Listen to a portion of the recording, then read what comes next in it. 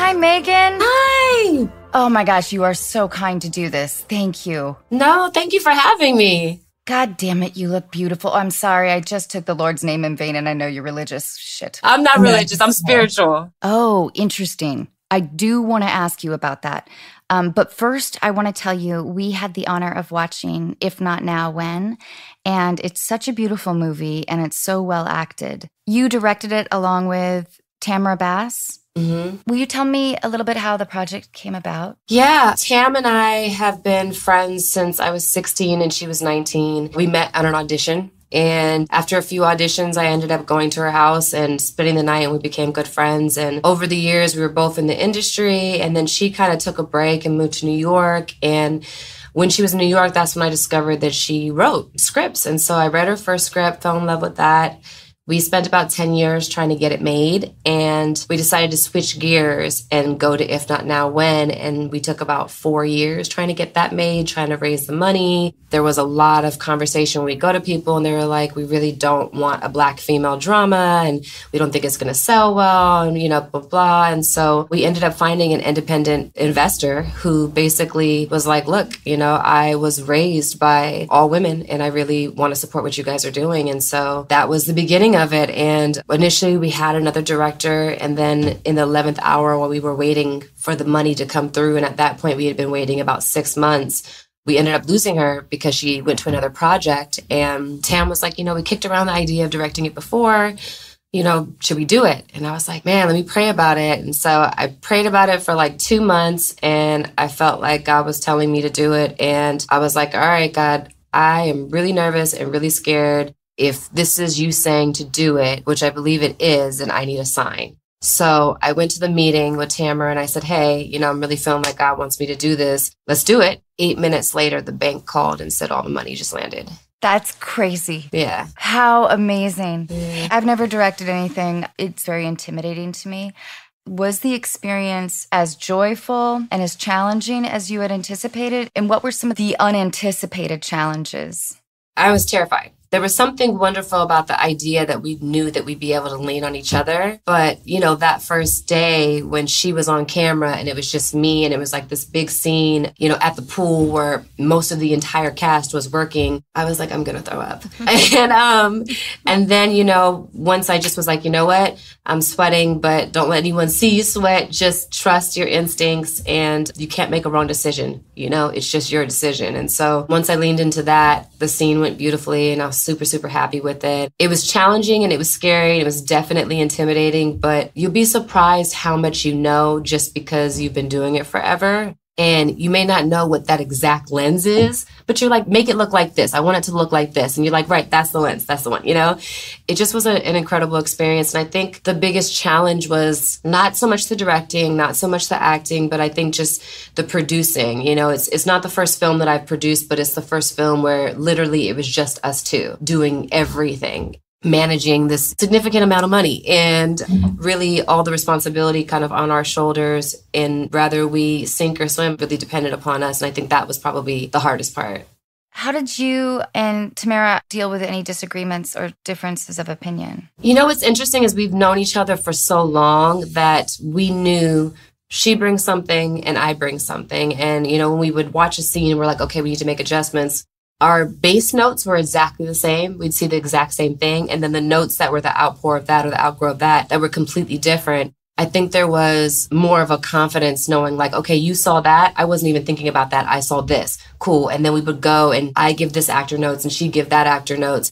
And then there were moments where, you know, we did disagree and we came to an agreement by saying, look, I understand you want it this way. I'm feeling it that way. Let's shoot it both ways. And then when we get into editing, we can determine which one of the ways look better. And by the grace of God, when we got into editing, we always agreed that, oh, yeah, okay, your way was better or my way was better or whatever it was. And then when we didn't agree, which was very rare, but when it happened, it was a compromise. It was like, okay, for this one, we're going to go with yours. But the next one that comes up and we have this issue, we now have to go with my choice, you know? And so we just compromised and tried to be fair. You can feel, at least I imagine after watching the movie, the love between the four leads. And I hope that that's the case. Yeah. The female bond It just feels so authentic. I like to also think that you guys are all really close, but I think it has to do with your skill as directors. And you're a magnificent actor. I read that you were working on a few other things as well.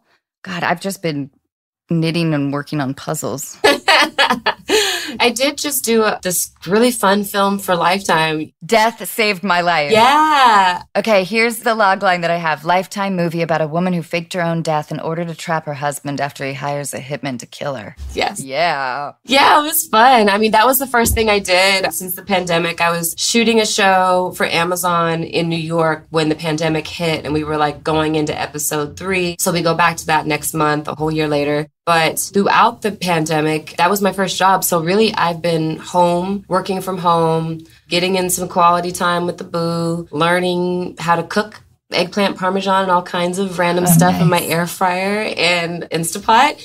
And then also just doing a lot of self reflecting, just really like leaning into God and just saying, okay, like you've allowed this season. So what am I supposed to be learning? What am I supposed to be getting out of it? What am I supposed to be giving? And really kind of getting some perspective of like, what's important to me, which is an obvious question I think we're all asking, but like, how do I come out of this better than I went in, in wholer? And do I need to deal with some past traumas? Hubby and I were like proactive about like getting marriage counseling. And it wasn't that there was an issue. It was like, we have this time together that we never have. We're both traveling all the time working. Let's intentionally go look underneath the hood and let's see what we can find that we can be proactive about instead of reactive about. So really it's just been about preparing and doing work and doing maintenance and self-help and growth. I really admire how you are on a constant quest for self improvement and growth. I don't mean to put words in your mouth, but as you speak about using this time to reflect and grow, and having watched some interviews where you speak about that, I envy that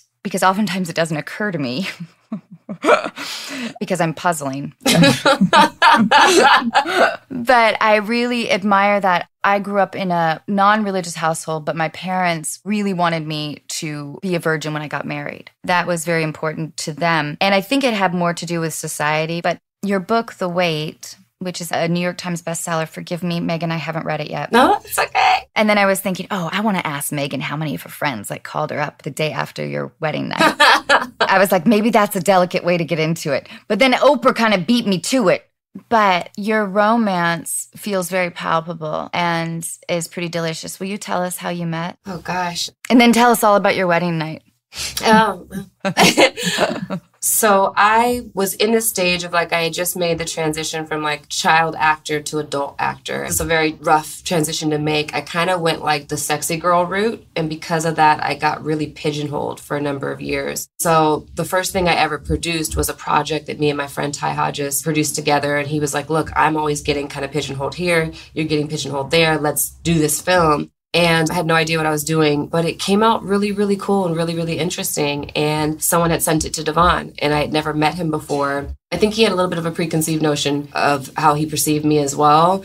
So when he saw this film, he like set up a meeting and we came in and I met and he was just like, dude, he was like, I just had no idea you had this in you and like you're great and like I really think this is a special movie and I want to see you do more stuff like this and like listen. And at the time he was an executive at Sony, he's like, just know that like I have your back and you know, want you to do well and if there's anything I can do for you, let me know.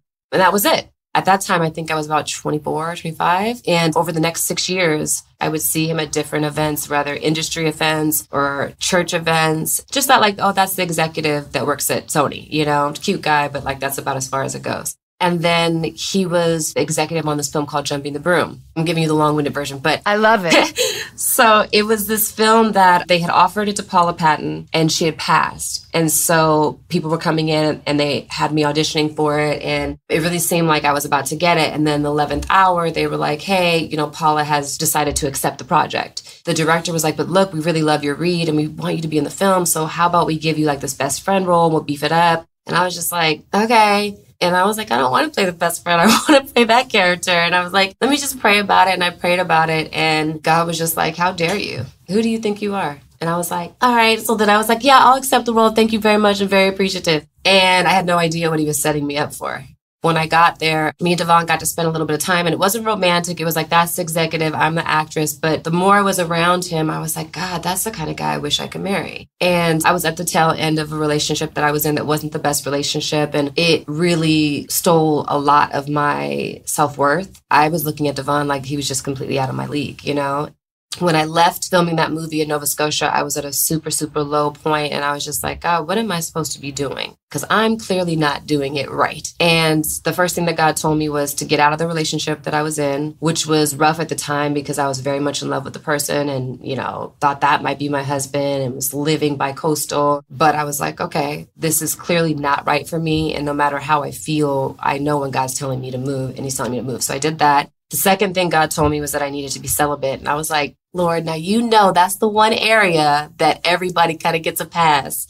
And I just felt like it was like, no, this is the area where I need you to show up because you need to do something different because your way is clearly not working. And the third thing that God said was that Devon was my husband. It just came out of the blue. I really didn't know Devon that well. I hadn't spoken to him since we left filming the movie. And so I kind of kept it to myself for like the first four months because I knew I sounded crazy. And then after four months, I started telling friends and family, I was like, hey, you know, it's like God told me Devon's my husband. And everyone's like, Does he know that he's your husband? And I'm like, I don't know. And they're like, Okay, Meagan, well, if you say so, look, good luck with that, you know? And I just sounded crazy. So then, cut to a few months later, it's the premiere for the movie. I've already told my friends and family that this is my husband. They're gonna all gonna see him tonight. Over that nine months, I think I talked to Devon twice wants to go to like an award show to like present an award representing the cast of Jumping the Broom. And the second time I came down to his church because he had his book coming out and me and another actor got like interviewed about like our faith walk. So I only talked to him twice in nine months. Wait, Meagan, so God told you to marry this man yet not be proactive? Yeah. Yeah. That, that's amazing. So I was like, I'm just going to wait. And so I did. And those couple of times were you flirtatious? No. I mean, I was looking for something and waiting for something, but it was like business talk. So I was like, okay, I guess I'll just wait. And so when the premiere happened, me and my girlfriends are like trying to find him inside the premiere after party. And I'm like, you guys are going to meet him tonight. Da, da, da, And I remember like seeing him and then like we had come up the staircase, we all had on high heels, and I just see him coming in our direction. I'm like, go, go, go, go, go, go, go. And so we're all trying to get down the staircase. And he's like, oh, hey, Meagan. I'm like, hey, these are my friends. And so like just trying to play it off. And it was like the awkwardest thing. Anyway, by the end of the night, we ended up talking. And then he was like, hey, do you want to go get like tea in like two weeks when I get back from my book tour? And I was like, yeah. And then we went and got tea. And 10 months later, we were engaged. And two months later, we were married. And now we're in year eight. That's amazing. Congratulations. Thanks. Did you guys have a fabulous wedding and honeymoon? We did. I mean, well, the wedding was beautiful, but it definitely was too many people. I want to do it again at year 10. Definitely will not be that many people. But it was really beautiful and not really stressful. Oh, good. Those two usually do not go hand in hand. I know. The only thing that was stressful was like taking pictures, which is like, of course, friends and family want to have like keepsakes. But I'm like, I don't want to do that today. I actually just want to be present in the moment. Totally. But beyond that, it was beautiful. And then I was married for like a month, and then I went to New York for seven months to shoot a TV show. So it was crazy. So we did our honeymoon after that, and it was beautiful. And it's been a crazy, interesting, amazing, best thing that ever happened to me besides God right? Were you raised with like a very strong faith? No, nobody I can think of in my family, at least growing up, was religious at all. We didn't go to church. It wasn't that kind of thing. It was just more like, hey, you know, have a relationship with God, whatever that means for you. Read your Bible, figure it out, and like just be led on how you feel. So I started going to youth group when I was about 12 growing up in the area I grew up was a predominantly white neighborhood and I dealt with a lot of racism and bullying and stuff and there were these two Latina girls in junior high, Alicia and Barbara, who really used to look out for me when people would try to mess with me and they got into a really bad car accident. There was 5 of them total and they were babysitting a little girl who was 4 and 3 of the 5 people in the accident died, including the little oh girl. God. Oh God. I'm so sorry. It was brutal. It was horrible. But Elisa ended up getting saved after that. It was so confusing. I was like, how do you go through that and then you get saved rather than be like, I don't believe in God at all. And why would God do this? It was really kind of like baffling to me. And something about her example and just seeing the experience that she had with God because we went on a retreat and it was just a crazy spiritual experience where you could really feel the Holy Spirit. And I never felt that before. I didn't even know what the Holy Spirit was. Her example just really kind of led me to God. And so as a kid at 12, I got saved and then from about 12 to 18, I was like super crazy religious. Like none of my friends told me when they lost their virginity. I mean, I was like Bible stomper. You were like militant. Oh my God. I was like, I just don't want you to go to hell for having sex. Like I was like crazy. You're like, I've got the information now. Right. Exactly. I'm going to spread it. but I actually didn't know what the hell I was talking about. So it wasn't until I kind of took a year off and was like, okay, what do I believe? That is my belief. You know, what does God mean for me? Without any religion attached to it, who am I in God? I went to go study Jehovah Witness and being Muslim and all these different I was just like, what is it? And then I just came back to Jesus and that's just what is right for me. And that authentic relationship that's not based on religion, it's just relationship with Christ. That was where I landed and I got baptized when I was 19. And my journey has been one of just like, just open, you know? I love the idea of the clarification between spirituality and I guess being religious. It feels like what you have is very personal and very beautiful. To me, it's I'm very interested in that area because it feels elusive to me. Mm-hmm.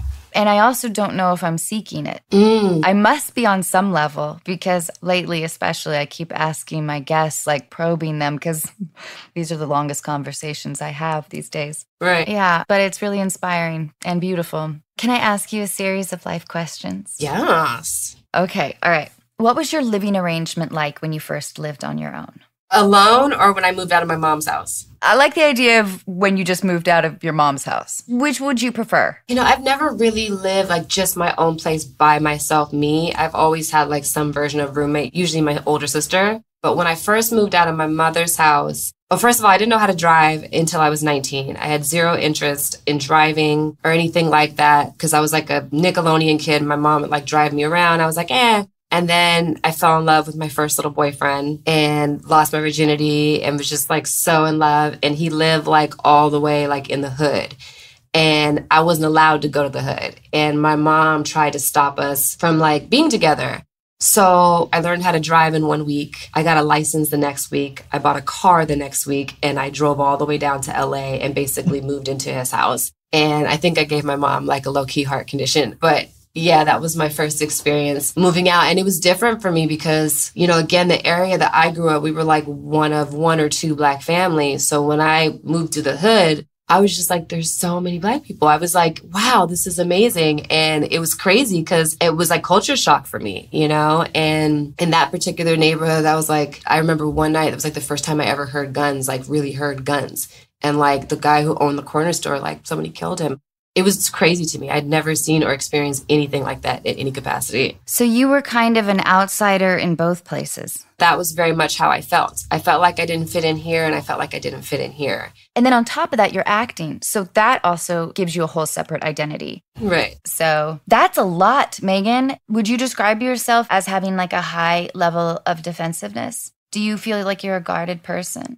I don't feel like I'm a guarded person. I don't know why. I'm actually a very transparent person, probably to a fault. I've actually had to learn how to like get some perspective on who you should and shouldn't tell stuff to. But I definitely know that it produced that like desire of like wanting people to like me and wanting to be accepted and not wanting people to like misconstrue my intention or like my heart.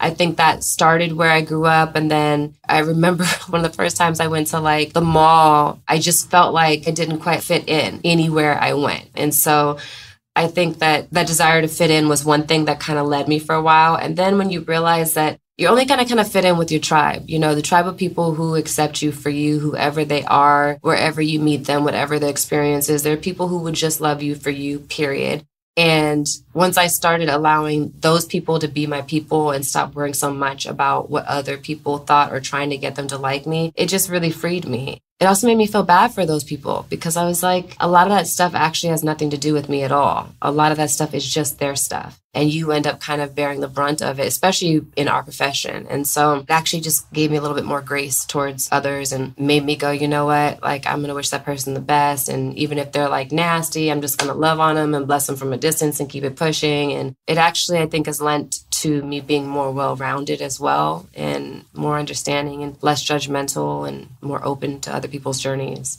I think it says a lot about you that you made like a best friend through the audition process. Right. right. Those rooms are mean. yeah. And like, especially during that time when you see your regular competition, yeah. like making the rounds. Mhm. I mean, I'm a big believer of like, there's room for everybody, you know, and everybody brings such uniquely different things that I believe what's mine is mine. No one can take it from me. And what someone else's is someone else's. I can't take it from them. So the idea of competing to me just doesn't really make sense, you know? And I like better the idea of like championing each other and supporting each other and being happy for each other and constantly knowing that like what is mine is coming to me. And so like being happy for the other person. And I know not everybody thinks that way, but I feel like you got to because you That- get to be balanced. That feeling has come a lot easier to me as I get older. hmm I assume that it's because my brain is slowly deteriorating. but the good news is it's becoming slightly more blissful. Mm. so that's nice. This episode of Unqualified is brought to you in part by Intuit, powering products like TurboTax, QuickBooks, Mint, and Credit Karma. Intuit works for what you work for, and because I've been using QuickBooks for years, I've been working with Intuit for years. I just didn't know it. I've also recently begun using Mint, which, as everyone else also probably already knew, is an easy way to create monthly budgets. With Intuit, artificial intelligence does everything from predicting your future cash flow to recognizing a misplaced digit in an account or routing number. You can also categorize and track personal or business expenses by scanning receipts, invoices, and other financial documents. Everything is automatically organized, especially helpful if organization isn't your greatest talent. And smart budgeting tools let you know before you overspend. Innovative features like these make managing your finances simple, but as you probably already knew, innovation is at the core of everything Intuit does. Discover how Intuit's products can help you see what's possible at intuit.com. That's I N T U I T.com.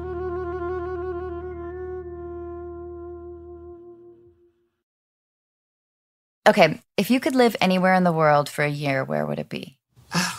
There's so many places I haven't gone that I want to go. I mean, I've been a lot of great places, but I don't think I've been to enough places to say that there's one where I'm like, that's where I want to live. I feel like jungle island type situation, just complete freedom and no stress and maybe no internet, unless it's to watch Netflix. Since you were born and raised in Los Angeles, I think a lot about the idea of what home means to me. Mhm. And I love a lot of things about Los Angeles, but I've lived here for 20 plus years. And I don't have that feeling of homecoming when I return here. Mm. It feels like a very transitional place and a transactional place. But you must feel a sense of home because it is your home. Yeah, I do. Santa Clarita mostly. Whenever I get off the 14 freeway, I immediately feel like I'm at home. It's like, you know, I don't think I've felt that yet since hubby and I, since we've been married, because we travel so much, we haven't found like our home home yet. So I'm looking forward to that and looking forward to that feeling. And, and I think that'll be within this next year and, you know, start a family and all of that. Is everyone asking you about that? oh God, people have been asking me that since like the week before I got married. I'm sure. can I get married first? And can I have a few years? And, you know, but I think for me, I was never in a rush. I always knew I would do it later in life. Me too. Yeah. Yeah, I felt the same way. And I'm happy I waited Yeah. because I think I'm a better parent as an older parent. Okay, let's get back to this questions. What talent or ability would you most like to have? I wish I could sing. I wish I could really sing. I feel like you can. You did in your movie, right? I can hold a note, but it's, yeah, it's like if you turn the music off and you really listen to what's really going on, it's like, what haven't you taken the time to learn about? hmm, I don't know. What would you say? I wish I spoke another language fluently. Hmm. I really love like geology, or like I would love to be able to play a musical instrument. I don't know if it's in my skill set, even if I did have the time. To answer your question, now that you Oh, said yeah, those yeah, yeah. examples, law. Oh, that's a great answer, Meagan. I think the only other thing I would have been besides an actress is a lawyer. especially now, it's something that I aspire to learn a lot more and understand it a lot more because I think it needs a lot of reform. so, yeah, that's something that I haven't taken the time, but now am slowly kind of learning and need to press into more. What do you crave more of? Time with my husband where we're not working. I love that. I so feel you. My fiance is sitting right there, and it does feel like even during this time, we work a lot. What is your relationship to the idea of patriotism? Hmm. I feel that we all have a responsibility. For me personally, especially in this season, and it's different for everybody, but I feel like to be able to do what I do for a living, there's a million talented, beautiful girls, more talented and more beautiful than me. And to be able to do what I do and to be able to excel in it, I think that it has to be bigger than yourself. And I think you have to have a bigger intention and a bigger goal. And so for me, using what God has given me to do my part to try to right what should be right in the world already and to use my platform as like a stepping stone and a tool to have a voice and to push things in the direction that they should go in and to encourage other people to boldly do the same. I feel like that's the connection that I have to it. It's just a deep sense of responsibility to use everything in my life for something that's way bigger than just myself, but really for the good of everybody. And to, as cliche as it sounds, to really do my part to change the world. I love that. I haven't asked too many people that question, but I was thinking about the idea of like one of the most beautiful ideas of our country is that we must constantly critique it. Mm-hmm. And isn't that truly being a patriotic person? involved with refinement, involved with improvement. Yeah. All right. What or who has influenced your career the most? I think the person I've looked up to the most in my career has been Halle Berry. Since I was a young woman, I've admired her work. I've admired her struggle. I've admired her transparency. I've admired her perfectly imperfectness, you know? And again, where I grew up, there wasn't a lot of women that I saw that looked like me. So when I would see someone that I identified with, I'd really hold on to that as a really, really special thing and like a real example before me. And there were a few, but she just really stood out to me because I think that people felt like this woman is so beautiful that they downplayed her capability and how brilliant of an actress she is.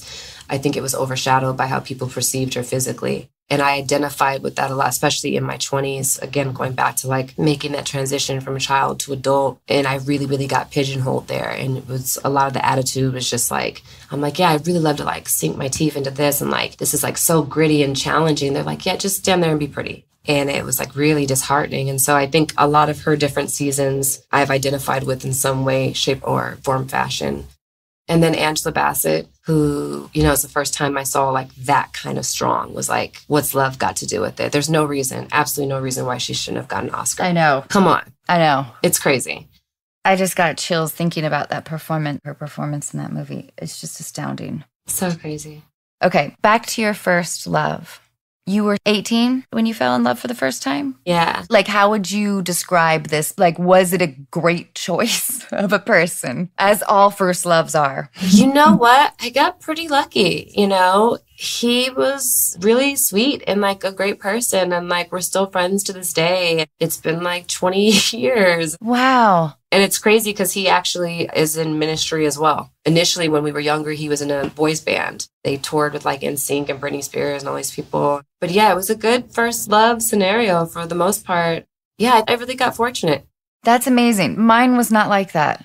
He was like the first attractive guy that showed interest in me. Mm. He was arrogant without being intelligent, terrible competition. Yeah. I wonder if he listens. I hope so. I'm just kidding. He totally like broke my heart though. Ah. It was such a juvenile relationship that it had nothing to do with him.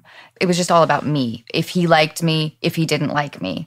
You know what I mean? I'm not even sure I could define too many characteristics about him. Okay, what is a trait you dislike in others? Judgment. There's a part of me that just goes like, who are you? who are you that you have the right to judge anybody? We all are on this journey and we all deserve grace. And it's not even grace that should have to be given because who are you to give grace? You're on this journey too, you know? And that's for me is something I just don't particularly care for. What is a trait you dislike in yourself? The desire to, and I guess I still have it, you know, the desire to not be misunderstood or unloved because someone thinks that I'm different than what I actually am. I think that has been like kind of a thing that I've always had that's developed in stages. You know, first it was because you're one of one or two black families. And then it's because you're a child actor. And then it's because you're looking at your peers and their preconceived notions of you. And then it's the internet and the blogs. And then it's the marrying a husband in ministry and, you know, the kind of like the way people perceive it is like, Californication actress marries Hollywood preacher. And it's like, mm, we're actually really not that different. I was only on like six episodes of Californication, but okay. There's always some version in my life of it's almost like an expectation from people. If you are this, then I'll love you. And if you're not this, then you're not lovable. And I think even though I'm okay with not being loved by people who I don't need to be loved by because I don't actually want that love, you know, and that love is actually not good or right for me. But I think that that underlining of always not quite 100% feeling like you fit in or like you are completely understood. And then there's the doing well at being an actress. At times, there's almost like a guilt that comes with that, you know, where it's like you don't want people to perceive you a certain way and think that that's because of like what you do for a living and like that your identity is caught up in what you do versus like I don't like this or I don't want this because Meagan just doesn't like it and she doesn't want it. It has nothing to do with Meagan, the actress. It's just Meagan, you know? And so I think there's so many layers and versions of that that have developed throughout my life. As much as I don't want it to be a part of me, it is a part of me. And I think I'm learning to not give it so much power, but in the same breath, it's like something that's like, it may be deep, deep, deep, deep down there now, but it used to be like right at the surface. I hate it, but at the same token, I love it because it makes me sensitive and it makes me able to understand others and be completely open and discerning about other people's experiences and emotions. So that was intense. That makes me want to ask about your thoughts on social media. Like I can understand people who enjoy it as kind of as a distraction or as something fun to put out or you know friends or family or fans or whatever, but I don't love the forum of I guess, feeling so vulnerable to critique or compliments with something that feels momentary and possibly, at least on my end, not all that well thought out. Right. Right. like, Facts.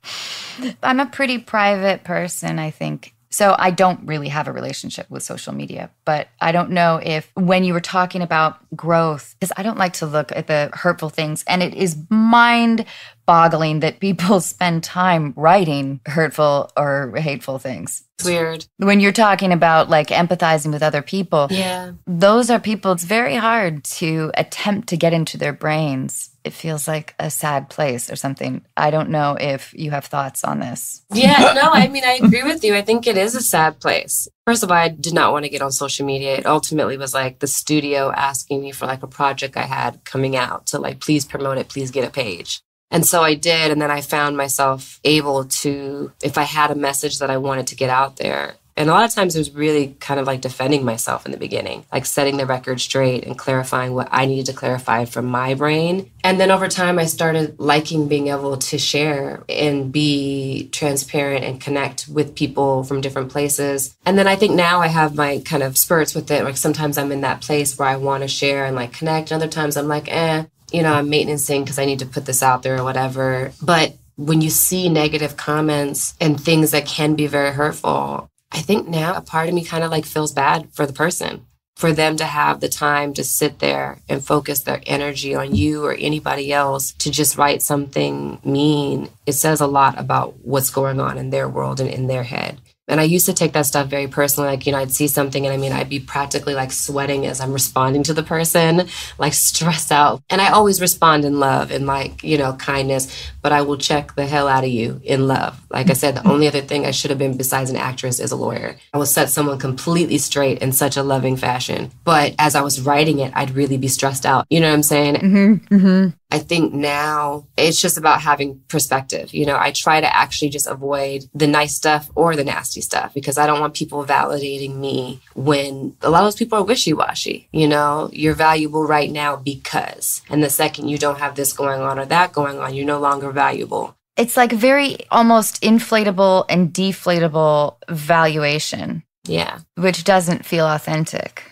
Which isn't. I think there's some people it's authentic from, but I think the bulk of it isn't. And I think that's why you can't really take it in. And I think for me, it's easier to just say, other people have their stuff, love them from a distance, but protect your spirit without letting it break your heart or make you bitter or make you have like a chip on your shoulder. Completely. Meagan, has a stranger ever changed your life? Oh my. I'm sure I've met other people who have been influential that were just like moments in time because I tend to talk to random people no matter where I go and get a lot from it. But the thing that stuck out was I was at the mall, this mall situation on Sepulveda, and some guy came up to me. And at first I thought he was like a creepster and he just kept like following. And then finally he came up to me and he was like, Can I pray for you? And I was like, Yeah, sure. And so we ended up like praying at the mall? At the mall, in the middle of the mall. And then we ended up talking for like an hour. And then as I was leaving, and obviously I was like 22, so I wasn't like the smartest bird, but when we were leaving, he kind of looked like he didn't have somewhere to go. I was like, Do you need a ride like to your car or like to the bus station or something? And he was like, Actually, if you could just drop me to the corner. And At the time, I wasn't thinking anything, but we ended up sitting in the car and it was nothing weird at all. But we ended up talking and praying for like another three hours. Wow. It ended up becoming like a cry session and like, it was like deep and it was just like some random kid that was probably a few years younger than me. He's probably like 18, 19. And it was like a whole beat. And then like I dropped him to like his car and we exchanged information and I put him in my phone as Angel. And the next day I went and looked for his number and couldn't find it. And I never saw him again. Wow. It was so random and like amazing, but it was like just what I needed at that time because I was in a really rough patch. I needed someone to like pray for me and I needed someone to like give me just like a good word and like pour into me. And then I ended up pouring into him too, even though I didn't know him from Adam. And it ended up just, I guess, being what both of us needed. And then that was it. That's amazing. All right. What character or role have you most enjoyed playing? You know, I've enjoyed a lot of characters that I've played. I think right now that the show that I'm getting ready to finish up for Amazon, it's untitled Harlem Project. I'm really enjoying this character. Her name is Camille. I haven't played something so close to me before. And she's really kind of quirky and confident, but can be self conscious, smart, but like a little bit weird. And like she knows it. And then she's a little clumsy there's just all these kind of elements to her that I can love and I can relate to. And then some that are very different than me too, but I love and can relate to them. It's a little bit of a Lucille Ball kind of comedy, but like still grounded and like still drama. But it's just been a really fun character for me. And then my castmates, the other three women that are on the show, are just amazing like two of them I just met when I booked the show. Another one I've known for years, and I'm just so happy there. And that was always kind of my thing. If I do a show, I'm a hippie, and so I need to be free and I need to move around. And shows don't really give you that. And so if I make that commitment, it has to be a place where I'm really happy, and I'm really happy here. That's so incredible and envy making because it's not always like that. Mm-mm. Meagan, what advice would you give to your younger self? Your authenticity is your superpower. I would tell myself, one, with regards to the other things in life, it's not that serious. It'll be fine. And two, the more you lean into your authenticity, the freer you will be and the easier it will be to attract your tribe and the less stressful life will be in general because you're just living in the fullness of who you are and the right people will be attached to that and the wrong people won't be attracted to that. And that's actually a great thing. Okay, less seriously, do you believe in aliens or ghosts? For sure. Both of them? Yeah. I don't know what to think about the aliens, but I definitely believe they're there. I love all that stuff, like encounters of the third kind, the fourth kind, like all that. Have you taken like ghosty tours in like New Orleans or anything? I would. And I've seen a ghost once when I was at Sundance, my very first year there. It was terrifying. A Sundance ghost? I saw a Sundance ghost. And when I tell you, I called my mom like screaming and I was like in my little Sundance room and like my manager was across the hall and I was like, Mom, help. No, no, no. She was like, just go to your manager's room. And I was like, I can't. It's in the hallway. And she was like, just open your door and run. So I opened my door and I ran down the hallway and opened the front door and ran straight from that door across the hall into his like room. And I was like freaked out. It was terrifying. What did it look like? It was like a completely jet black, full on formed figure. And the room was You know, it's like the room when you leave your TV on and everything's like kind of gray and like the room's completely lit up, but it's like still darkish. And this figure was jet black, like fully formed. It was terrifying. Did you go back? I think maybe two nights later and I wouldn't sleep in the room. I like slept in the living room. But I mean, I will say now that I've experienced that, it's not scary to me anymore because it's like, well, I pretty much had the shit scared out of me. So I don't think it can get any worse than that. Do you like solitude? I do, just not too much for too long. I need it. I absolutely need it like air I breathe, but I need it like in a space, in a portion, the way that I want it. And outside of it, I need energy. I need life. I need people. I need sounds. I need to hear cars. Otherwise, I feel crazy. But when I want solitude, I want it my way and I want it by any means necessary.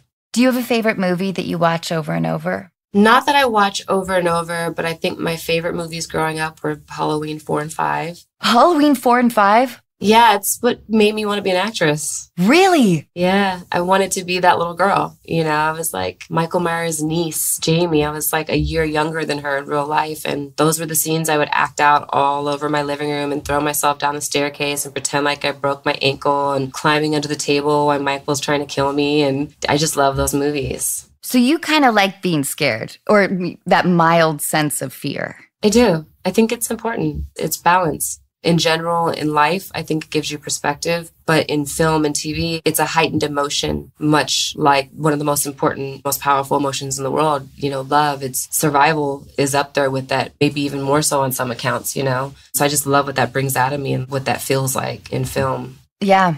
Do you have any collections? What do you collect? Betty Boop. Really? Mm-hmm. Like in all forms? In all forms. Figurines, dolls, blankets, socks, robes, toilet bowl covered, rubber ducky, stickers, everything since I was like 10. Are you tired though of people in your life giving you Betty Boop gifts because they don't know what else to give you? No, it's not, it makes me so happy. Okay, good. Next time I see a Betty Boop, I'm going to be thinking of you. Okay, what was your first boss like? I started acting when I was four and I got serious about it when I was about 13. And so I don't know how I would really classify a boss, yeah. you know, as the boss, the director or the producers or so I don't really remember. Has there ever been a time when you thought about quitting the entertainment industry? Yes, once. Not that long ago, probably about five years ago, six years ago. Oh, really? What was the impetus of that? I was working on this show and from the moment I got there, I put a lot of stress on myself because of who the creator was. And I really wanted to do such a good job. And then once we got, you know, to doing the show, there were a lot of cooks in the kitchen. And I was in these situations where the director would say, I want you to do this, this, and this. And then he'd say, rolling. And then all of a sudden the creator would come in and whisper in my ear and then he'd be like, I want you to do this, this, and this and say action. And I would like not know what to do. And instead of just saying like, Hey guys, can one of you only give me notes? Or like, you guys are giving me literally conflicting notes or like whatever it was, I just let the stress build and kept trying to like please and I got to the point of where I would like black out and not remember my lines at all. And they were like challenging lines because of the world that it was set in. So it wasn't like a word like the, it was like a made up world that didn't exist in the English language. And I have to remember this word. And so it got to a point where I was so stressed out that I was blacking out. And then people knew that I was blacking out and they took that as if maybe she needs some help with her acting instead of maybe I need some help with remembering you know, and I don't mind having a coach. I think it's really good to have one, but it feels a little different when someone tells you, hey, you need this. And I felt just completely misunderstood and like I was getting the wrong prescription in terms of help. And this went on for a few episodes. And it wasn't till this director named Tunde, this Nigerian director, because I'll tell you before that, I had one director who yelled at me in front of the crew to the point of where when that director came back, my hands were trembling when I was doing the scene because I was so afraid of messing up another director who asked me if it was my first job. And I just said, you know, I've done a few other things, you know, and just left it at that. By the time this guy, Tunde, came in, he just looked at me and he said, I know what you can do. I'm going to leave you alone. Do your thing.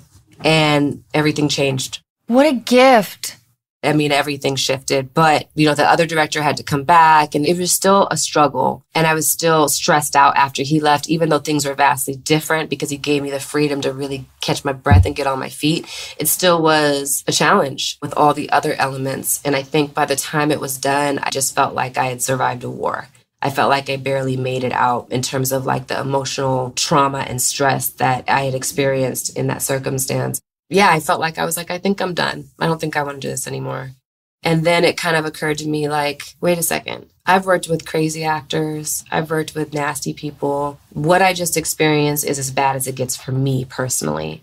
And I survived. And I didn't just survive, I did a pretty good job. I didn't do great, but I did a pretty damn good job considering. And that's something to be proud of. If I can survive that, I can survive anything. And why would I quit? Because now there's nothing to fear. I think that anybody who's worked in Hollywood for maybe more than a decade has had at least one moment where your confidence is completely shook to the core. Was your character a regular on the show? I was the lead. Oh, God. Which I'm so thankful for, but it was, uh, that was rough. And I felt blindsided too because I had already been in the business for 30 years at that point. Mm-hmm. I'd never experienced anything like that. I just was so blindsided, but like, what is happening right now to my life? Like, and then you can't get off the roller coaster. Mm-hmm. Four or five months to go, six days a week, your first one in, last one out. Oh. You're not getting off this roller coaster. What is some of the best advice you've ever been given? I've been given a lot of good advice.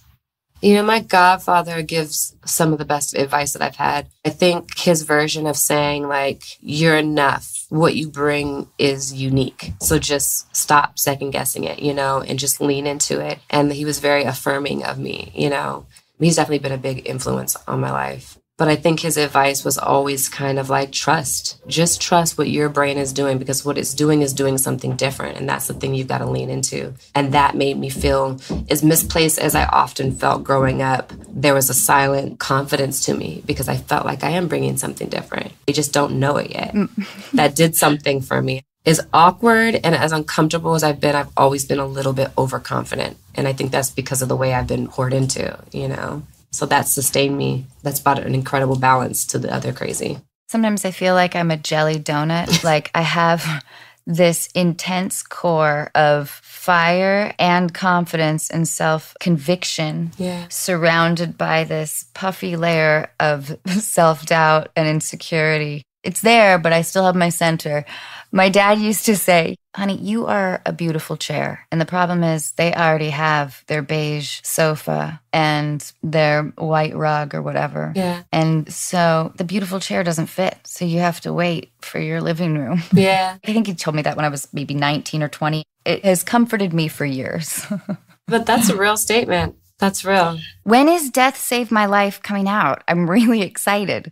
Valentine's Day? Yeah, it's a quick turnaround. Amazing. yeah, so it should be fun. Oh my God. And then my real sister plays my sister. oh, yeah. How was that? Amazing. So amazing. You know, that's like my best, best friend. And it's the second time we've played sisters and she did an incredible job. She killed it. And then being able to have those scenes and there being things that we can identify and relate to, you know, with the characters and those exact moments that we've shared something similar and to be able to tap into those moments and live and breathe it. It was pretty amazing. Yeah. Meagan, thank you so much for doing this. No, thank you for having me. You're very wise, and there's a lot of amazing food for thought in this conversation. So thank you so much for that. We're going to make a carrot cake right now. Oh, I'm so jealous. We're big bakers over here too. we'll see if it'll be successful. I don't know. but thanks, Meagan, so much. You're so very welcome. Thank you. Bye, Meagan. Bye. This episode of Unqualified is brought to you in part by Mosie Baby. Mosie Baby are makers of the Mosie Kit, a groundbreaking home insemination product that's safe, simple, affordable, and sexier than a fertility clinic. Of course, you can always wear your own nurse uniform. The Mosie Kit is clinically proven to be as effective as IUI for conception, but if you are familiar with IUI and IVF, you know that these procedures can cost tens of thousands of dollars. At only $89, each Mosie kit includes a collection cup, educational instructions, and two Mosie syringes, the first and only syringes designed specifically for baby making. At only $89, each Mosie kit includes a collection cup, educational instructions, and two Mosie syringes, the first and only syringes designed specifically for baby making. They are as comfortable and familiar as using a tampon. Work with fresh or frozen sperm and ensure you make the most of each try. Mosie also has ovulation predictor kits and pregnancy tests, everything you need discreetly delivered to your door. Wondering whether Mosie is a good fit for you? Check out their instructional videos, educational articles, and real stories from the Mosie community and get inspired to start your journey. Mosie Baby has helped thousands of families inseminate safely, comfortably, and effectively at home with the Mosie Kit. Ready to make a baby? Visit mosiebaby.com slash Anna to get 15% off your first Mosie Baby purchase. Again, that's M-O-S-I-E-B-A-B-Y dot com slash Anna to get 15% off your first Mosie Baby purchase.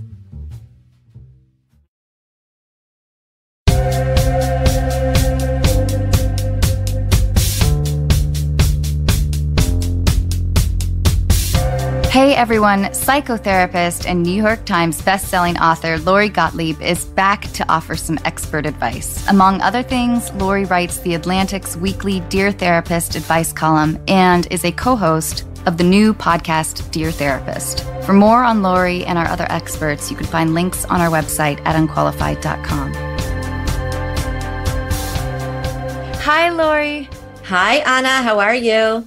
I'm wonderful. Um, let's call Kate. Great. Hello. Hey, thank you so much for doing this last minute. That was so kind of you. Oh, no problem. I was just doing a puzzle. Oh my god, I love puzzles. I I don't know what's happened to me.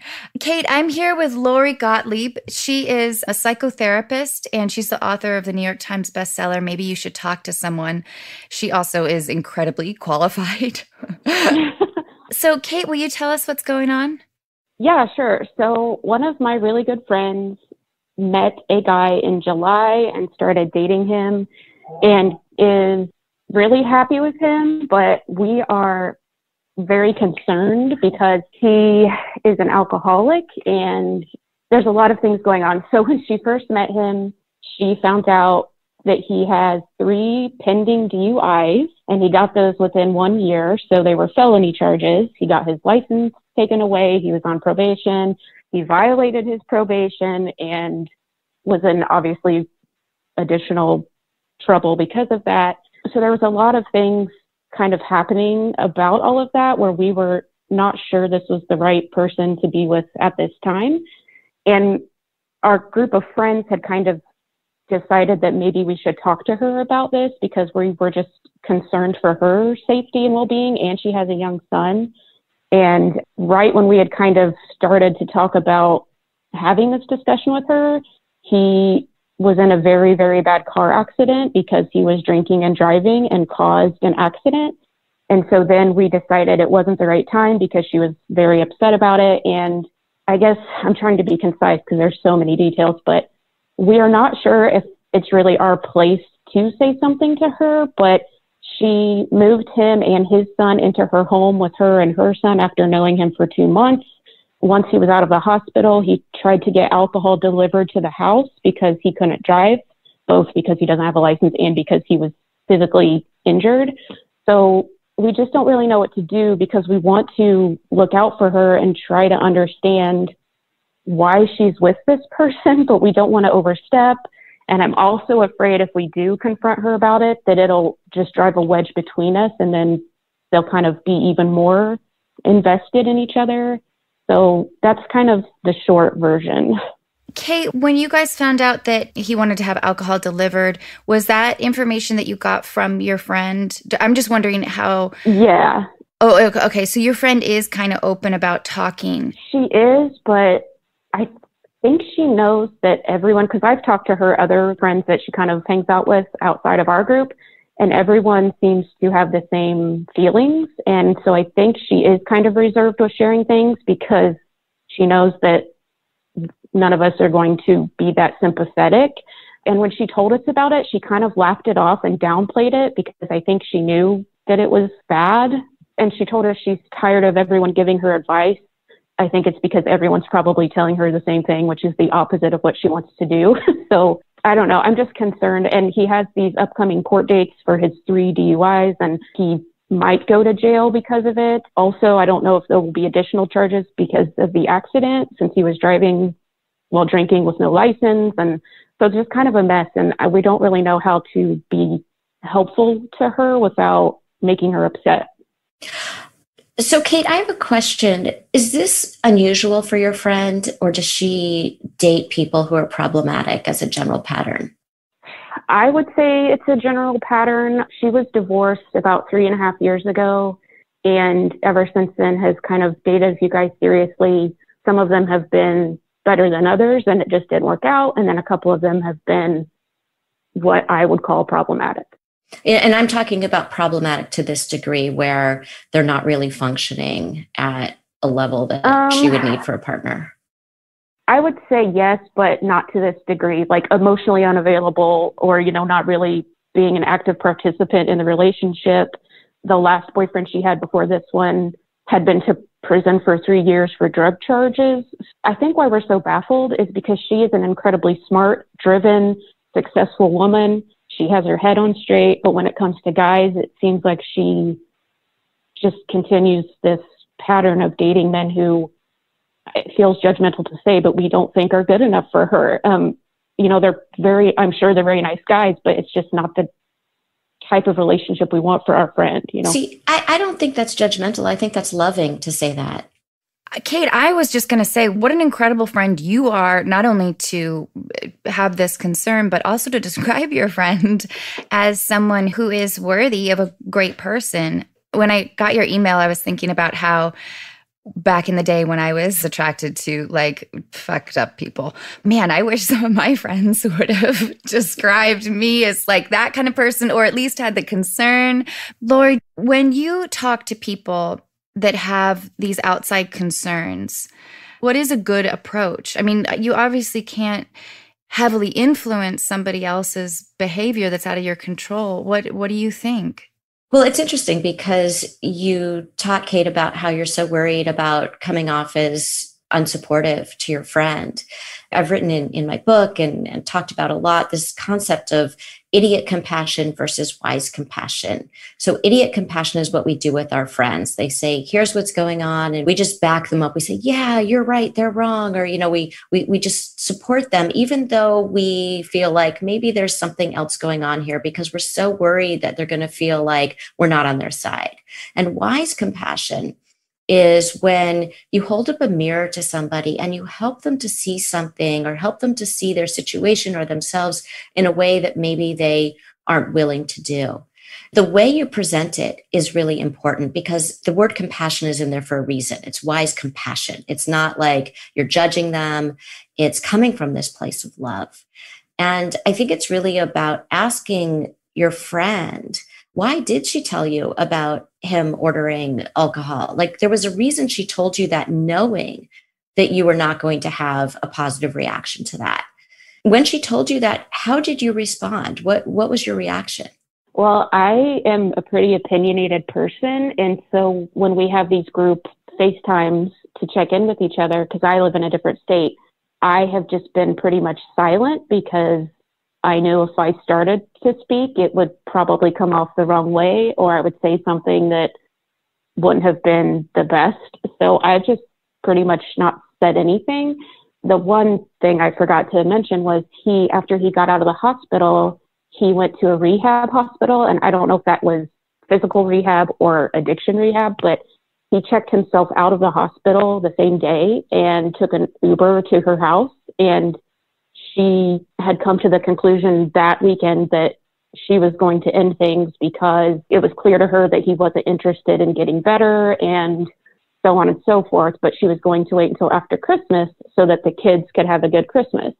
And we were all concerned about that because we were very excited she had come to that decision, but were afraid that by waiting a month, it would give her time to backpedal. And that's exactly what happened.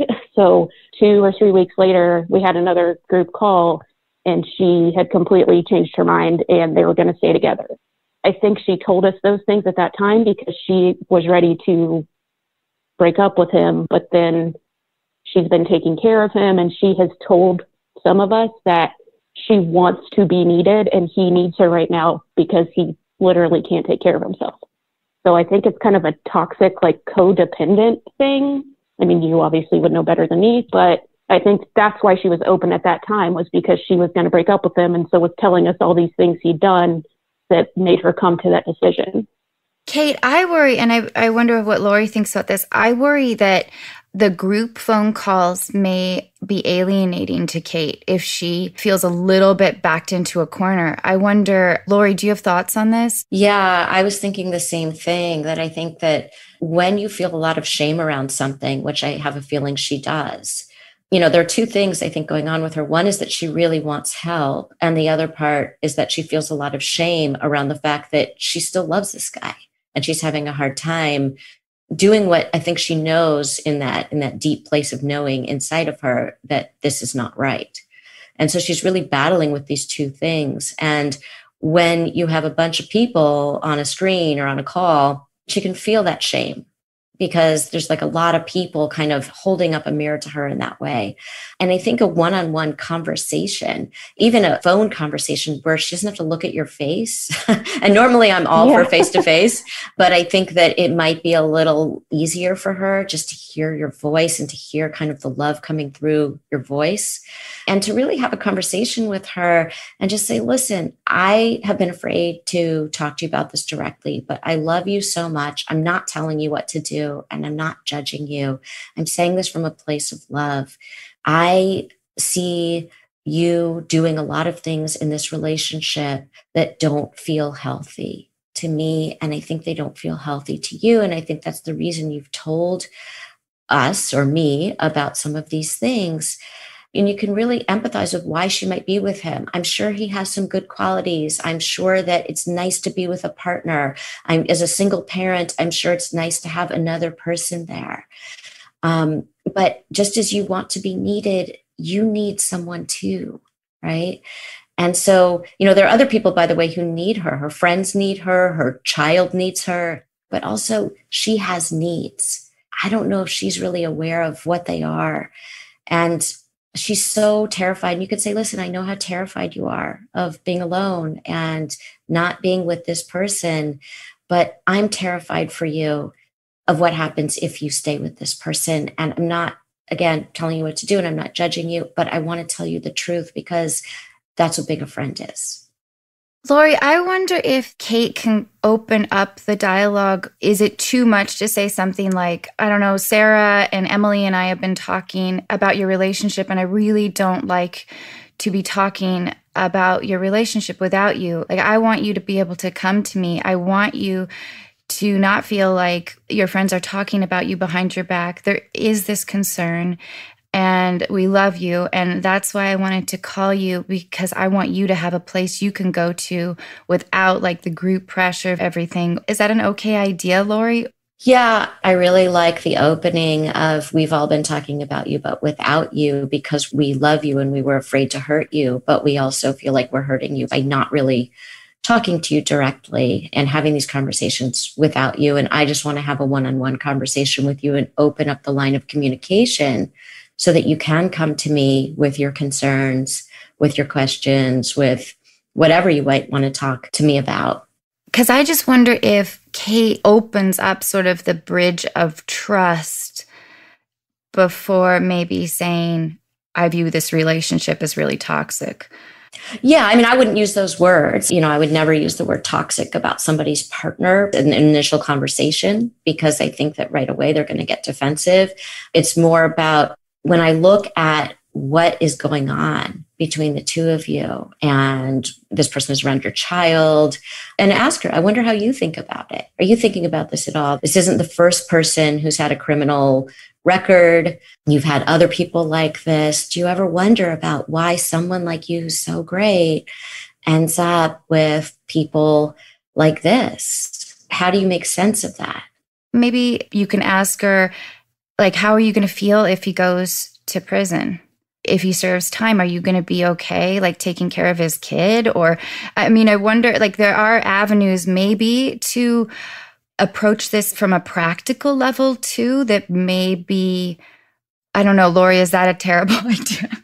No, I mean that that's part of the reality checking. That's that's what's so important is to be able to say out loud the things that are hard for her. The minute she gets those thoughts in her head, and I'm sure they've popped into her head, they go right out because they're too hard to look at. But if you say them out loud, if they actually have some air, then she has to hear them. They live in the space between the two of you when you say that.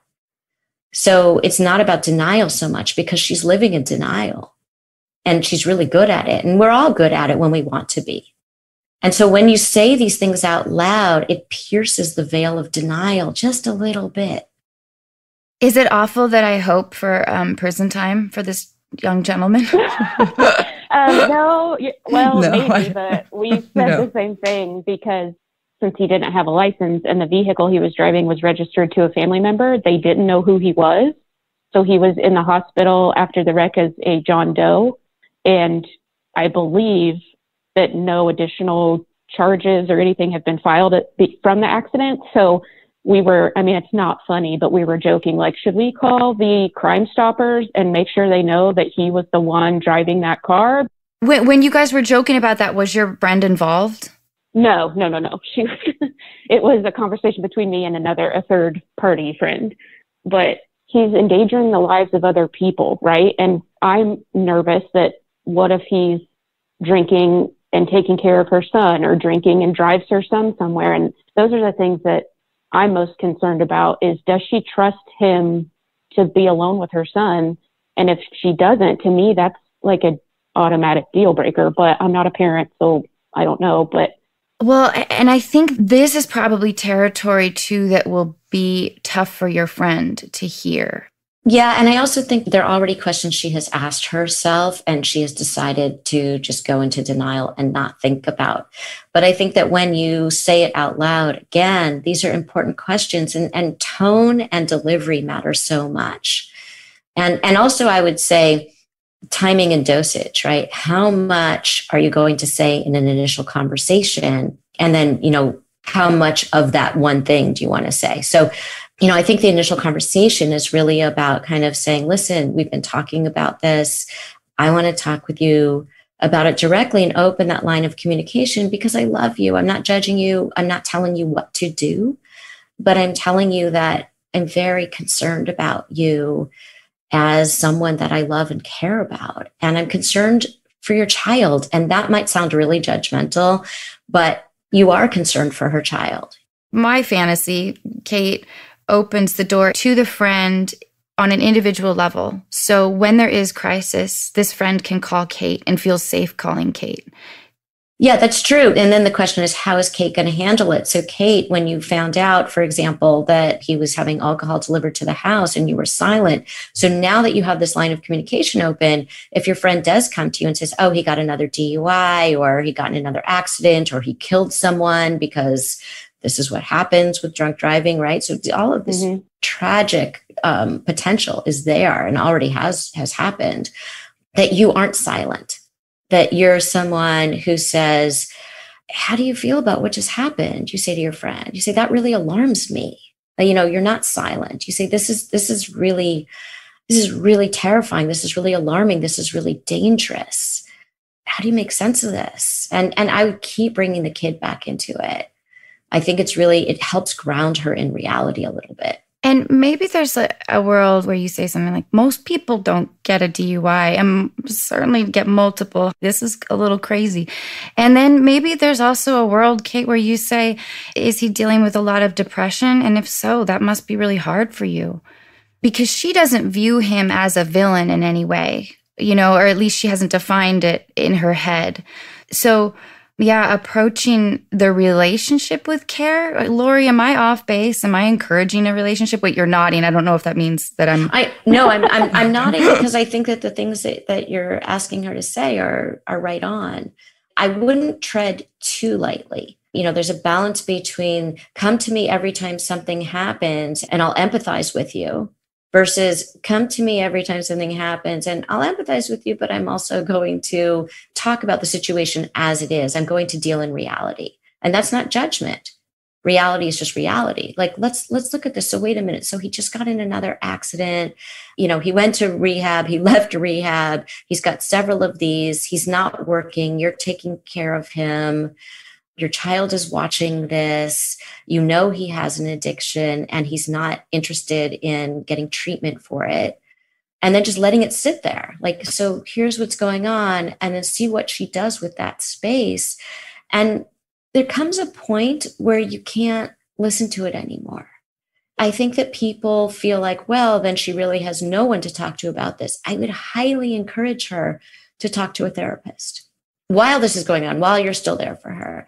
I would really encourage her and say, you know, this is really hard. And, and I think that you need a safe space where you can go and talk about this, where it's just your space. Nobody else is there. People who know you are not involved and you can just get like a really good second opinion on what's going on here and and talk about all of the things that you're maybe embarrassed to talk about with me about how much you love him about why you love him about why he's so important to you. You can talk about the range of your feelings for him in a way where that person can help you get clarity whatever you decide to do. Maybe you'll decide to stay with him but at least you've talked to somebody about it and you're really clear on why you're there. Because i don't think that she will end up thinking that she wants to stay there after she goes to a therapist. Oh, fingers crossed. But um, yeah, that's a really good idea. I know one of our other friends just went to counseling with her boyfriend to talk through some things and told our group about how happy they are that they went and did that because just expressing things out loud that they were kind of afraid to say to each other. I mean, you know this obviously. Um, it was really helpful for them. So maybe using that anecdote from our other friend to introduce it to her would be a good way to talk about that. I, I don't think that he is going to want to go to therapy with oh, her. Oh, I, yeah. So, I, um, yeah. and, and if he did, he would not be truthful. And it would be a long slog of him not being truthful, your friend not being able to say to the therapist, wait a minute, that's not true. That didn't happen that way. And so it's really important, I think, that she go into individual therapy right now. Kate, I think you should definitely encourage this. I'm just worried that Kate will be skating on thin ice initially when she reaches out individually. Am I wrong? Well, you have to balance here the well being of, you know, this is a really serious situation. This isn't just like, we don't like your boyfriend. This guy is incredibly problematic in terms of bringing all of this chaos, instability, and, and danger into their lives. What if he is driving with them. And you know something happens to her child something happens to her and her child doesn't have her mom anymore. What if one of them gets really injured? What happens when he drinks a lot? Does does he ever get violent? Does he ever get angry? Does he ever do things that you know he regrets the next day? I'm not talking about driving necessarily. You know when people have an addiction at the level that he does because he's he's not interested in acknowledging his addiction or facing his addiction or getting any kind of treatment for it he's not anywhere near the place that she would need him to be to feel like this could be viable if he deals with this. He's not going to deal with this at this point. Would it be crazy for Kate to say to a friend, like, I just want to make sure as well, like, as we talk about these things, that you wouldn't be financially liable for anything. And thank God that, as far as we know, that he, he hasn't hurt anybody. But I wonder if those are like seeds you can plant too. Like, have you thought about your insurance policy? But maybe those are ideas you could bring up to your friend as well to get her to actually see the practical fallout that could happen with his behavior. Yeah, I believe she's paying for everything now, like paying for his medication that he's taking from the accident. And I don't know that he's contributing to the household expenses, but I would assume no because he's not been working for a while. So, I mean, even before the accident, I believe he was not working. So, yeah, I think she is providing 100% of the financial stability in the house. Are you close with her family? Not really. I mean, I have met her mom dozens and dozens of times, but we only talk when we see each other in person, which obviously is not often now. You know, Kate, the more that I'm hearing about the situation, the more it sounds like your friend is an addict too. And I think she is addicted to um, the drama addicted to the the needing to be needed as you said she has an emotional addiction and so it's interesting that as much as we try to get her to see her boyfriend's addiction i think the most important thing here is to help her to see her own addiction. Both of them are addicts and neither is willing to acknowledge their addiction or get treated for it.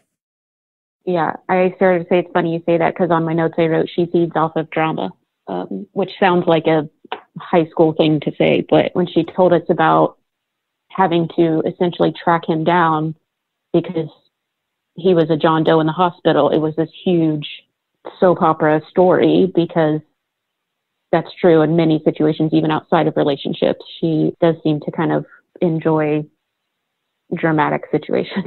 Right. That makes me think, Kate, that these conversations, she may push you away she may not be very open to them, but I also think that it's important to state reality, especially for an addict, that you don't have to go along with their fantasy world. And when you do, and so many people do, because they're afraid that they're going to offend the other person.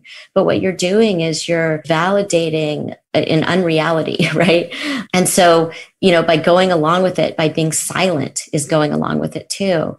You know, you have to help the addict see what is going on and they're going to come to see it however they come to see it. But if the people around them are all tiptoeing around or pretending the addiction isn't happening, which is what she's doing with her boyfriend and what you guys are doing with her. Yeah, that makes sense. I just knew my initial reaction would be aggressive, which is why I didn't comment on, you know, in the calls because I mean, I know I can be a judgmental person, like I said earlier. And so I knew my first reaction would be, What are you thinking? Why are you with this person? And I knew that wasn't going to be helpful. So that's why I kind of stayed silent. But now that it's been several months and I've been able to sit with it and absorb some of the information, I can be more sympathetic, I think, and not reactionary especially when you think of it as an addiction you can be more sympathetic because you realize that you know you ask this question well how can someone so smart and she has her head on her shoulders and she's so professionally successful how does she end up in these situations? Because she has an addiction. So there are lots of highly successful people who have all kinds of addictions. And what do addictions do? They're a way for us not to feel. So there's something that she does not want to feel. There's some pain that she has unresolved. And Uh, this is why, if there's any way to suggest to her to go to her own therapy, she will start to be able to deal with the real issue and not all of the ways that she's kind of self medicating. So he's self medicating with alcohol, she's self medicating with the drama of his life. It's validating because I I thought that, but I don't know anything. So it's nice to hear, you know, someone who knows about this kind of say what I was thinking. So I might even approach it by talking about the addiction and what she has in common with her boyfriend. Because, you know, I could even see saying to her, I like what Anna said about, you know, we've been talking about you, but I want to talk directly with you. But I would make it very clear right there. They did not put me up to this. They do not even know that I am calling you right now. Right. So it's not like I'm doing an intervention on behalf of all of our friends this is just me and you. Yeah. And I care about you. And I realized, you know what? I've been silent because I didn't want to hurt you, but I realized that I'm hurting you more because I think that just as your boyfriend has an addiction to alcohol, that there's something in here that is drawing you to this situation that is not good for you. And it feels a little bit like you have an addiction too, maybe an emotional addiction. This isn't the first time that you've been with somebody like this. And it's hard for you, even when you say you want to quit, you go right back to it, just like an addict would who says, I want to quit drinking, but they go back to it. I just, I feel like my silence has not been helpful because I, I love you too much. And I want us to have honesty between us. And I felt it was really necessary to kind of open up this conversation and, and see if you were open to talking about it with me or thinking about it or you know how you might be able to kind of look at your situation a little bit more clearly and maybe that's with a therapist where you could go and have a safe space that's confidential and you could talk about all the different reasons that you want to be here and what draws you here no matter what you end up doing with him understand better what you are doing so that you're going forward with eyes wide open, no matter what you decide. Lori, I love that. I love that opening up with the idea that, you know, we've been talking about you because we love you. I don't want to do that without your involvement. And then, Kate, I think it is really important to not tell your other friends that you've made that phone call because she will call. Right. And she'll be like, Kate said, like, so you guys are talking about me. I think it's important that you establish that trust. Then you guys can hash it out later and you can say, yeah, I called a weird actress and on her podcast. and Lori Gottlieb. Don't you think, Lori, that part's important? That she, because yeah, it will be a large thing in her head. It will stick in her head that you guys have been talking about her. She already knows, but to have it confirmed will stick in her head, and she might be a little mad at you, maybe not, but she'll call other people. So it's important that you kind of anticipate a little bit her defensive moves if you want to, you know, be in her life and then follow through with them, you know, make sure that after you talk to your friend, then you can regroup with your other friends. Don't you think, Lori? Like, yeah, I think it's important to make sure that these are one on one and that they and that they're not it can't reported about that stupid right. peripheral stuff. And she'll look for that. Right. And so that means that whatever you talk about in your conversations are not reported to the other friends, and you make that clear with her. They don't know that I'm calling you, and this is just me reaching out to you. And I'm not reporting what we say on this conversation to them. But I don't want there to be, and I just want to be clear, but I don't want there to be secrecy. And what I mean by that is addiction is all about secrecy.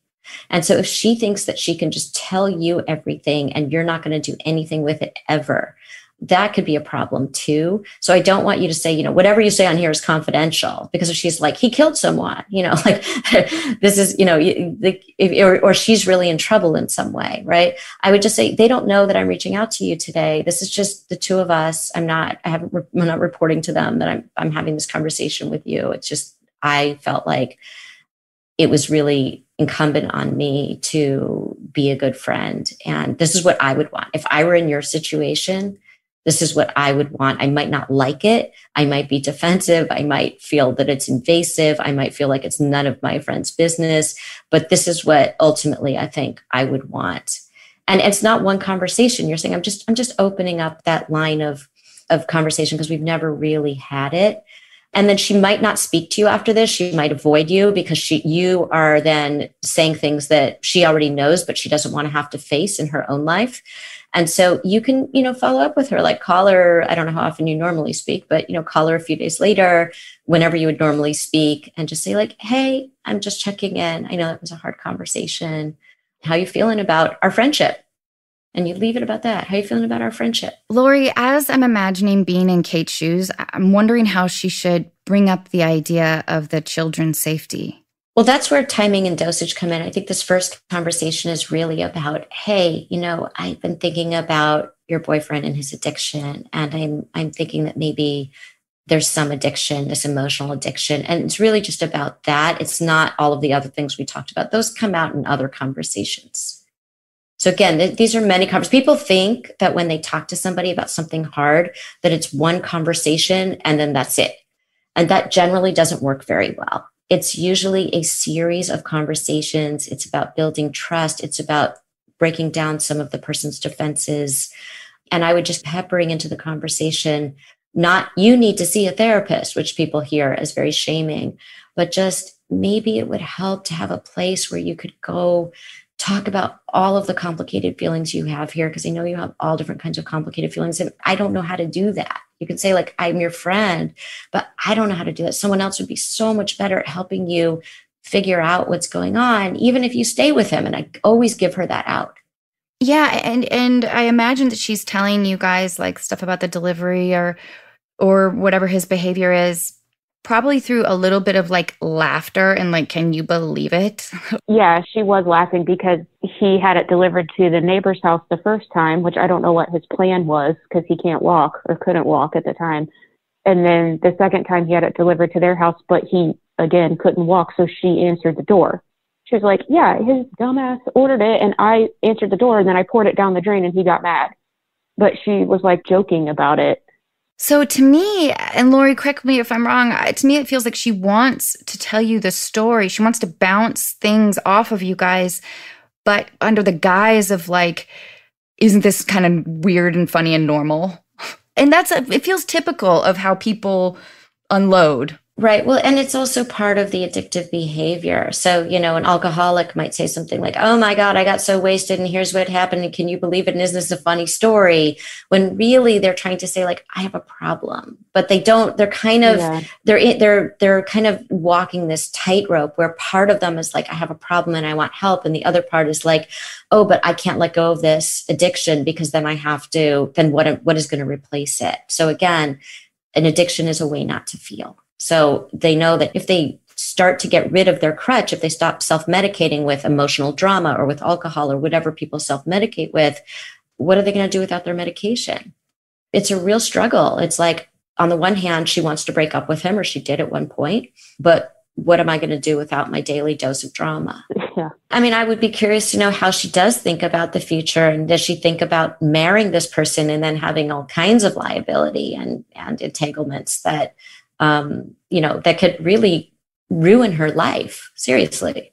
Yeah. What what if he is in in an accident where something horrible happens? Right. Well, I mean, the thing is, we're asking her to get rid of the very thing that is is her medication. So the right. more drama, the more she's drawn to it because she doesn't have to think about her own life. So again, I think these first conversations are really just pointing out that parallel for her she will probably reject everything you say or get defensive, but it still goes in if you deliver it with love and compassion and you don't try to convince her of anything.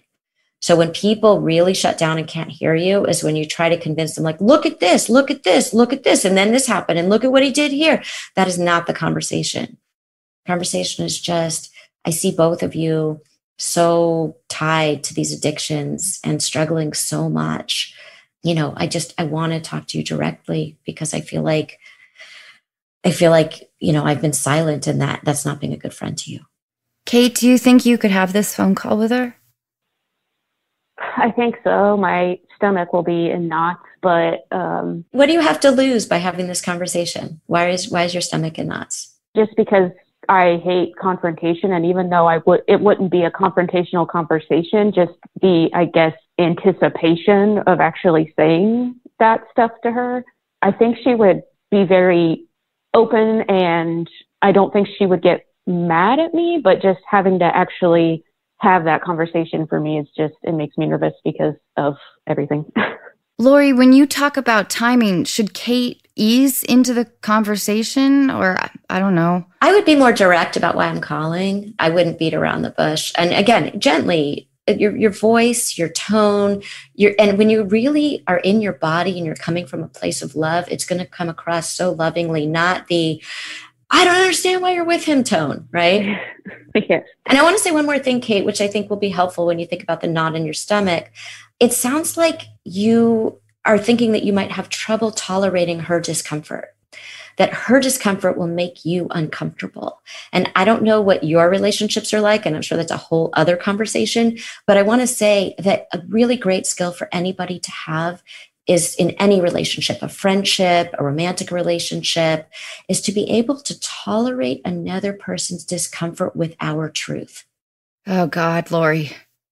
It feels like a challenge of a lifetime, but it's brilliant. Will you, will you say that again, Lori? I'll try to remember what I said, but I think that what I was saying is that one of the most important skills in any relationship, whether it's a friendship or a romantic relationship, is to be able to tolerate the other person's discomfort with our truth. And what you're doing is you are sharing your truth with her. And your truth is, I love you. And this is what I'm seeing. And I'm concerned as your friend. And I want to be able to talk with you because I feel like I've been hiding and I don't want to hide in our friendship. And that's beautiful and it's loving. Yeah.